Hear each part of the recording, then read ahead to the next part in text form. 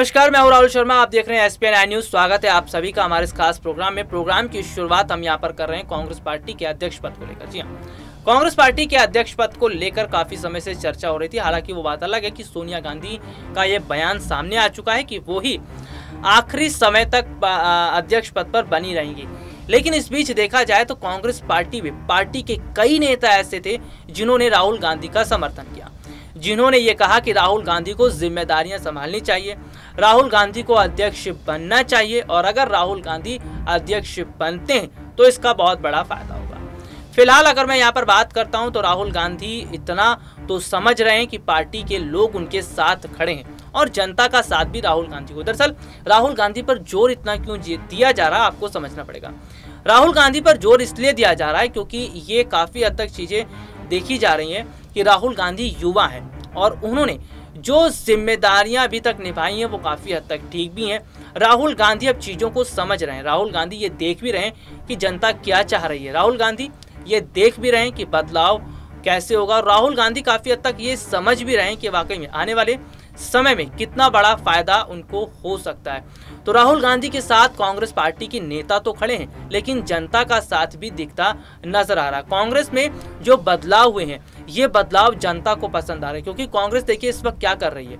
इस वक्त जमीनी स्तर के मुद्दों को उठाने का काम कर रही है। कांग्रेस इस वक्त ये पूरी कोशिश कर रही है कि जमीनी स्तर के मुद्दों को उठाया जाए, जमीनी स्तर के मुद्दों पर काम किया जाए। और तो और अगर हम बात करें तो फ़िलहाल यहाँ पर कांग्रेस पार्टी के लिए अच्छी राह दिखती नज़र आ रही है। कांग्रेस पार्टी ये पूरी कोशिश भी कर रही है कि क्या वाकई में आने वाले समय में स्थितियों को बदला जा सकता है। हालाँकि स्थितियों को बदलने की कोशिश कांग्रेस ने शुरू कर दी है। दरअसल कांग्रेस ने जमीनी स्तर के मुद्दों को जब से उठाया है, तब से बीजेपी के लिए मुश्किलें बढ़ चुकी हैं। क्योंकि तो जनता भी वही चाहती है कि हमारे जमीनी स्तर के मुद्दों को कोई उठाए।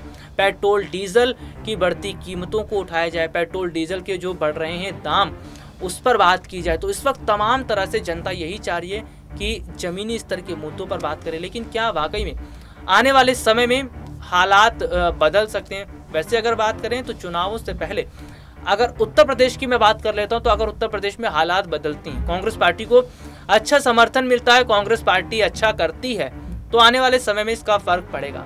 आने वाले समय में कांग्रेस के लिए राह आसान होती नज़र आएगी और साल 2024 के समय में तस्वीर बदलेगी। साल 2024 की अगर मैं बात करूँ तो साल 2024 में अगर तस्वीर बदलती है तो बहुत बड़ा फ़ायदा जी हाँ बहुत बड़ा फ़ायदा कांग्रेस पार्टी को होगा।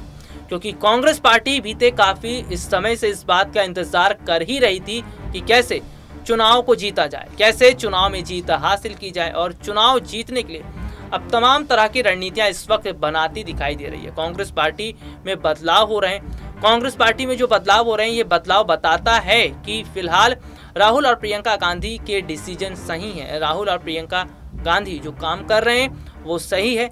जनता उनसे सहमत है और जनता की सहमति होना बहुत ज़्यादा ज़रूरी है। जिस राजनीतिक पार्टी के साथ जनता का साथ हो जाता है, जो राजनीतिक पार्टी जो है, वो जनता के मुद्दों को उठाती है, जो राजनीतिक पार्टी जनता के लिए काम करती है, उसी राजनीतिक पार्टी को समर्थन जनता करती है। तो जनता और यहाँ पर राजनीतिक पार्टियों की मैं बात करता हूँ। तो काफ़ी हद तक चीज़ें बहुत अलग दिखती नज़र आ रही है। लेकिन इस वक्त क्या देखने को मिल रहा है कि मोदी लहर खत्म हो चुकी है। जी हाँ समय था साल 2014 का। साल 2014 के समय मोदी लहर खूब देखने को मिल रही थी। मोदी लहर में तमाम बीजेपी नेताओं का बेड़ा पार हुआ। मोदी लहर में तमाम बीजेपी नेताओं को फ़ायदा हुआ। लेकिन क्या वाकई में आने वाला जो समय है, वो मोदी लहर के लिए नहीं है।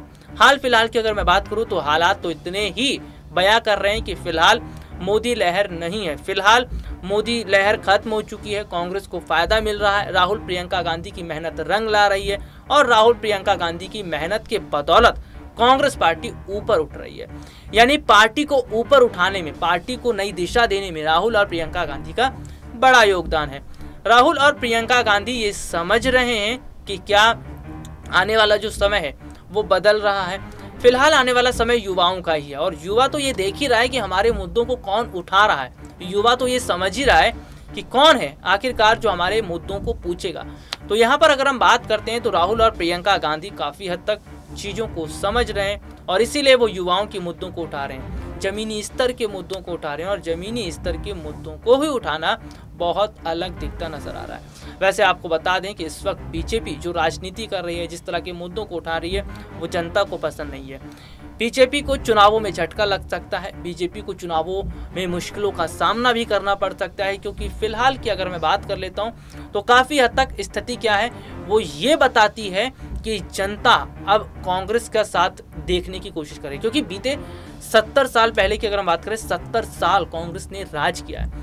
सत्तर साल बहुत बड़ा समय होता है, बहुत बड़ा अंतर होता है। उस समय भी चीज़ें हुआ करती थी, लेकिन चीज़ें इतनी ख़राब नहीं थी, मोदी राज में जितनी चीज़ें ख़राब हुई हैं। तो हाल फ़िलहाल की अगर मैं बात करता हूँ तो वाकई में आने वाले समय में अगर जनता का पूरा ध्यान कांग्रेस की तरफ़ चला गया राहुल प्रियंका गांधी की रणनीतियों की तरफ़ चला गया तो शायद बीजेपी के लिए मुश्किलें हो ही जाएँगी। और कांग्रेस ने अब देखिए शुरुआत की है सोशल मीडिया के ज़रिए। जी हाँ हाल ही में खबरें सामने आई थी कि सोशल मीडिया के ज़रिए रा, राहुल प्रियंका गांधी जो है पार्टी का प्रचार प्रसार करेंगे। कांग्रेस पार्टी अच्छा काम करती नज़र आएगी। तो फ़िलहाल अगर यहाँ पर बात करते हैं तो आने वाले समय में काफ़ी हद तक चीज़ें बदल रही हैं। आने वाले समय में काफ़ी हद तक बदलाव हो रहा है और यही जो बदलाव है ना, यही कांग्रेस पार्टी को ऊपर लेकर जाएगा। एक वक्त था जब कांग्रेस पार्टी में दरार देखने को मिली थी, गांधी परिवार में कलह देखने को मिली थी, पार्टी के नेता अलग थलग पड़े हुए थे, लेकिन आज वक्त बदला है।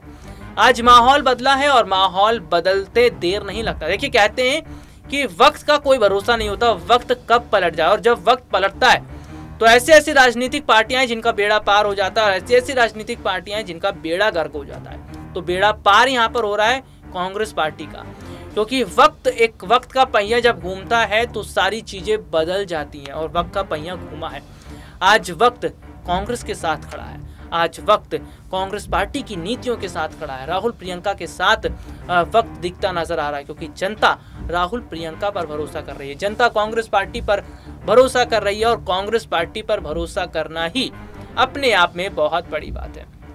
हालाँकि अगर मैं बात कर लेता हूँ तो आने वाले समय में इतना तो ज़रूर कहा जाएगा कि कांग्रेस पार्टी ने अगर एक नई शुरुआत की है और नए अभियान अगर आने वाले समय में करती नज़र आएगी तो फ़ायदा बहुत बड़े अंतर से होगा। राहुल और प्रियंका गांधी की बड़े स्तर पर मेहनत जारी है। राहुल प्रियंका ये पूरा, पूरी कोशिश कर रहे हैं कि कांग्रेस को मज़बूत स्थिति दिलाए। काफ़ी हद तक अगर मैं बात कर लेता हूँ तो प्रियंका गांधी का जलवा उत्तर प्रदेश में बरकरार है। प्रियंका गांधी ने काफ़ी हद तक उत्तर प्रदेश की जनता को अपनी तरफ़ करने का काम किया है। प्रियंका गांधी ने काफ़ी हद तक उत्तर प्रदेश की जनता को साथ लेकर चलने की बात कही है। तो यहाँ पर मैं बात करता हूँ तो फ़िलहाल आने वाले समय में बहुत बड़ा फ़ायदा किसको मिलेगा? जी हाँ बहुत बड़ा फ़ायदा मिलेगा राहुल गांधी को, प्रियंका गांधी को और कांग्रेस पार्टी को। तो यहाँ पर कांग्रेस पार्टी विजय की ओर जा रही है। जी हाँ विजय का रथ तैयार हो चुका है और उस विजय रथ में राहुल, प्रियंका और सोनिया सवार होते नज़र आ रहे हैं और तमाम राजनीतिक पार्टियाँ इस वक्त पीछे चल रहे हैं। क्योंकि प्रियंका गांधी ने ये साबित कर दिया कि अकेले वो उत्तर प्रदेश के विधानसभा चुनाव में जीत हासिल करेंगी और आने वाले समय में कांग्रेस अच्छा प्रदर्शन करेगी। आज के लिए इतना ही। आपसे फिर मुलाकात होगी। तब तक ले जा दीजिए। नमस्कार।